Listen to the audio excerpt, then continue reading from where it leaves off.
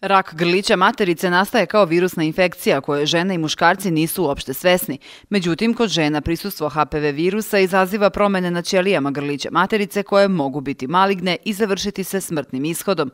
Ova bolest u našoj zemlji veoma je česta i spada u jedan od vodećih uzroka smrtnosti. Podaci o broju obolelih i umrlih žena od raka grlića materice u našoj zemlji su zabrinjavajući. Statistika kaže da godišnje od ove bolesti oboli oko 3000 žena, dok oko 500 žena svake godine u Srbiji umre od raka grlića materice.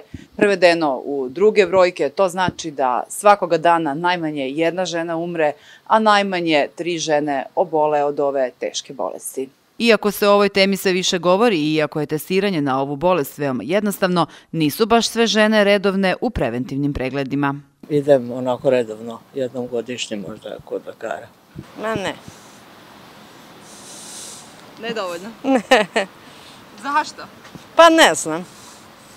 Jel bi sada ovo možda bio motiv da odete i da uradite? Ne bi, ne bi.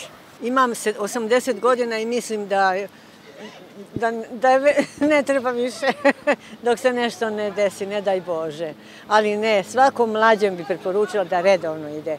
Ja sam išla kad je trebalo, kad sam bila mlađa, kad je bilo intervencija nekih i tako dalje, a sada priznajem da ne ide. Kako bi se povećao broj žena koje odlaze na preventivne preglede, važna je edukacija, pa je zato danas u Preventivnom centru Rumskog doma zdravlja održano predavanje za žene i devojke na ovu temu, a povodom Evropske nedelje prevencije raka grlića materice. Danas će biti prvo predavanje, a predavanje će se održavati redovno ovde u sali Doma zdravlja u Rumi, kao i po selima.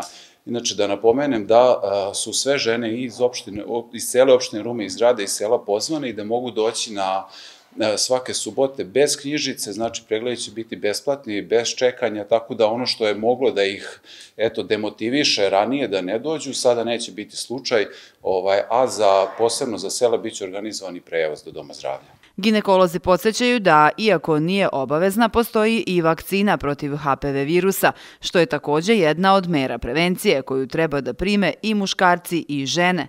Žene da ne bi obolele, a muškarci da ne bi bili dalji prenosnici ove bolesti.